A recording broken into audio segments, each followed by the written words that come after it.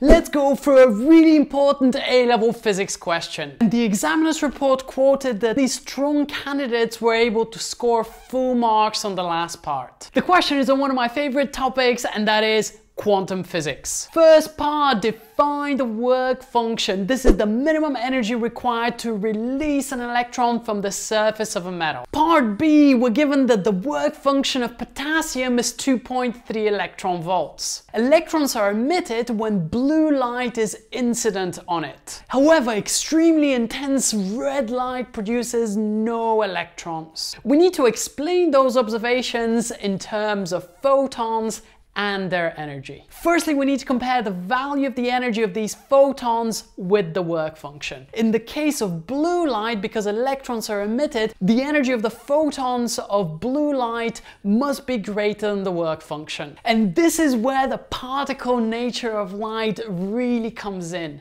The emission of electrons is independent of the intensity. Whether an electron is emitted or not does not depend on the intensity, but simply on the wavelength of the incoming light and hence its energy, because the energy of the photon is equal to hc over lambda. Blue light has a shorter wavelength, meaning that it has a higher energy for each individual photon. And each individual photon can only interact with an individual electron. There is a one-to-one -one interaction. We can never have a situation when we have a billion red photons that interact with a single electron and make it escape. Next part, we're given that light with a wavelength of 320 nanometers is incident on a potassium plate. What we need to figure out is the de Broglie wavelength of the emitted electrons. Actually,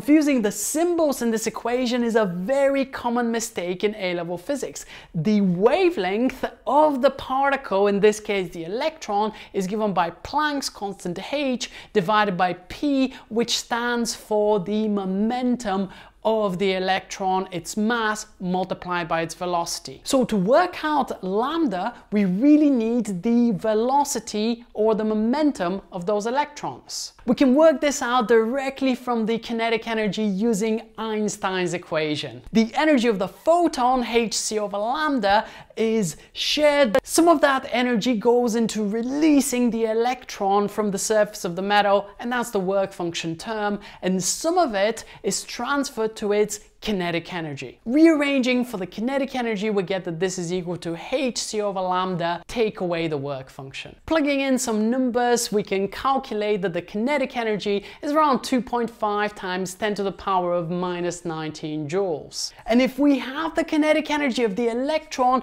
we have its velocity, and if we rearrange ke being equal to a half mv squared for the velocity, substitute all the values, we're going to get around 7.46 times 10 to the power of 5 meters per second. We're absolutely not done yet because our final step determining the wavelength is going to be substituting those values into lambda is equal to h divided by mv and if we do that we're going to get around 9.8 times 10 to the power of minus 10 meters. One of the best ways to prepare for exams is to look at common mistakes and this is precisely why you absolutely need to click on this video right over here.